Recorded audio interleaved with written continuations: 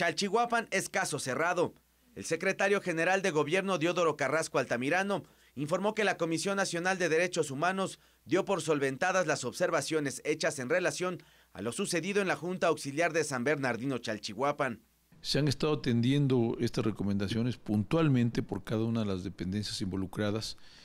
y al final del año, al final del 2016, la Comisión de Derechos Humanos consideró que la recomendación estaba totalmente cumplida. Tres eran los pendientes que debía atender el gobierno del estado y consistían en la creación de una fiscalía especializada para atender el caso, la reparación del daño, considerando parámetros internacionales y lo que establece la ley de víctimas, así como el seguimiento de denuncias y hechos contra policías involucrados. A partir de estas últimas eh, respuestas que dio el gobierno del estado, la Comisión de Derechos Humanos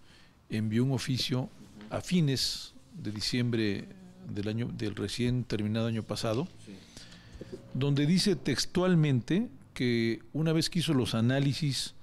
eh, por parte de la Comisión Nacional de la información proporcionada por el gobierno del Estado, la recomendación,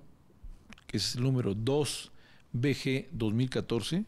se califica como aceptada con prueba de cumplimiento total. Jonathan Arroyo, reportero, Noticieros Televisa.